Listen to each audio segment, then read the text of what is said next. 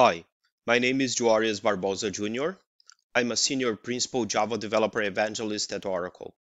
Welcome to episode 6 of a series on getting started with Java, JDBC, and the Oracle Database.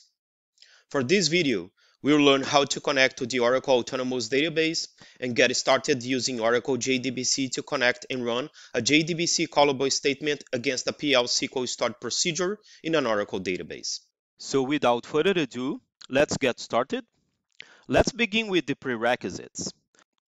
The first step is to sign into your Oracle Cloud account or create a new free trial account if you don't have one. Use the link provided in step 1 to do so. The second step is to create an Oracle Autonomous Database instance. There are many options you can use to achieve that. We'll use the sample Terraform scripts. Start with the provided Terraform scripts, specify the ADB instance name, password, and email address, then execute the following commands. Terraform init, Terraform plan, and Terraform apply.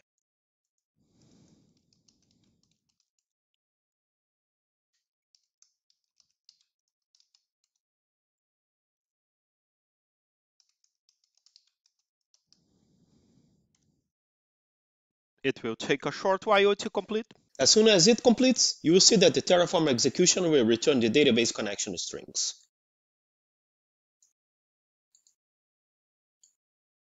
The third and last step is to create the database table and the PL SQL stored procedure. You can use SQL Developer Web or access your autonomous database instance. Log into OCI, select the hamburger icon at the top left-hand side, click Oracle Database, then select Autonomous Transaction Processing instance, select your database instance, then click the Database Actions button. Next, click SQL. Now, use the SQL script from our code sample to execute the detailed statements as required. You have to specify your desired password. Execute the script to create the database elements as required. Check the script output tab to make sure it got executed successfully. With the working Oracle Autonomous Database instance and the required database elements created, we can now call the PL SQL procedure. First, you must download the Oracle Wallet and save it to a local directory. Access your database instance again, click Database Connection, click Download Wallet, provide a password, and then click the Download button. Save it, then move the file to your preferred directory and unzip it. Now we are ready to call a PL SQL stored procedure from a JDBC callable statement. So let's talk about the next steps. You can use your preferred integrated development environment to open the project. You can use Eclipse, IntelliJ, or VS Code with the Java extensions. Next, you have to modify the config.properties file and provide the connection details to create a JDBC connection as usual. And then the last step is to open the Java class called JDBC stored proc employee.java as it has the main method. Run it and see the results returned from the PL SQL stored procedure. Here is our project in the sample code.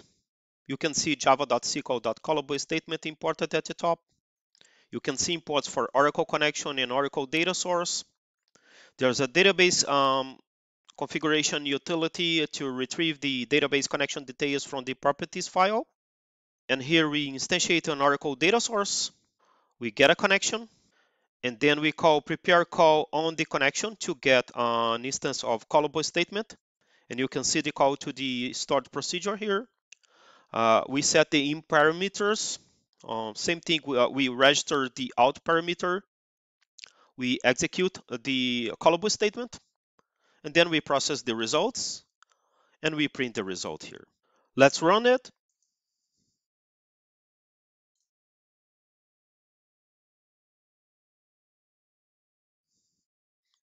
And that's it. You can see the input parameters here and the output parameter uh, returned from the uh, PL SQL stored procedure. If you want to explore all the details of our sample code, Oracle Developers on Medium also has a blog post called Invoking Stored Procedures with JDBC callable statements with all the explanations about JDBC, PL SQL, and other related topics. So that completes our video on invoking stored procedures with JDBC callable statements. Again, if you'd like to know more about these topics, make sure to visit the links on this slide. Thank you for watching this video and until next time.